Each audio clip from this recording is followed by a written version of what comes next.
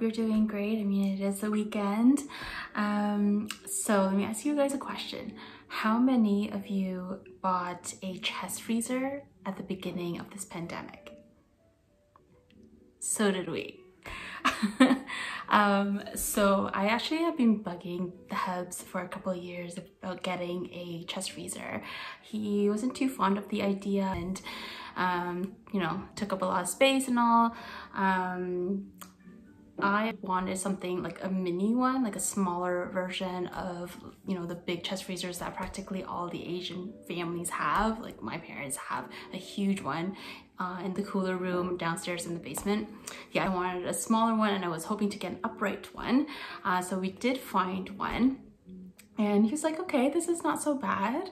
And yeah, it kind of took this pandemic to convince him to buy one. Um, so yay, I finally got a chest freezer. It's an upright one, um, small, it's only about six cubic feet. Um, it's like the perfect size, I think, for just the two of us or, you know, small family. Uh, we got it from Rona. Um, I think it was like 375, 395 something like that anyway with tax and delivery it was like around 500ish so it's not too bad um, we ordered it like mid-March, maybe around 20th, 23rd of March, and we didn't get it until April 24th. Um, so that would be, I guess, a week. Uh, yeah, I guess it would be probably a week since I post this video up.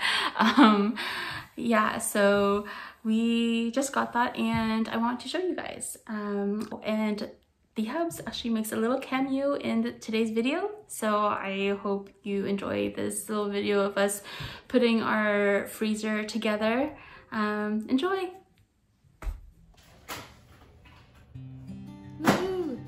We got an upright uh, chest freezer. There's the Hubs. He's unpacking it right now and then we'll have to try to get it up the steps and in through to the kitchen to the back.